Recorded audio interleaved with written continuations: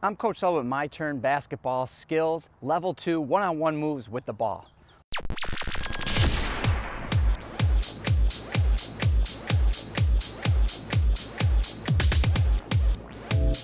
Let's talk about another good move, a double cross. When you come down in the game, double cross is not two crosses. You want to cross, catch it low, and bring it right back. So I come down on the defender, I'm gonna catch it here, boom, I use my eyes to look that direction.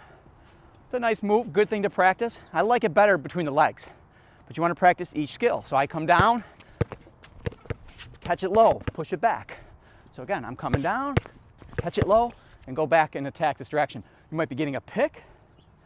You might just be playing in a game and use your eyes like you're going this direction, and then now you have the angle to attack. And then you worry about finishing. I'm Coach Sullivan. Make sure you check out myturnbasketball.com. You can download all the drills. Make sure you subscribe to this channel and remind yourself it's my turn.